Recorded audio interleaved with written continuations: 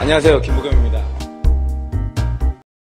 야, 못 잡아, 씨발, 이 새끼, 저 극혐이야, 이 씨발 새끼, 존나. 야, 이거 아니라고 했잖아. 이거 아니야, 그냥 도망가는 게 맞아. 하지만, 카타리나, 씨발 새끼야, 있으면 내가 너는 어떻게든, 아, 아, 아, 이건 아닌데. 이건 아닌데. 어? 뭐야? 뭐야?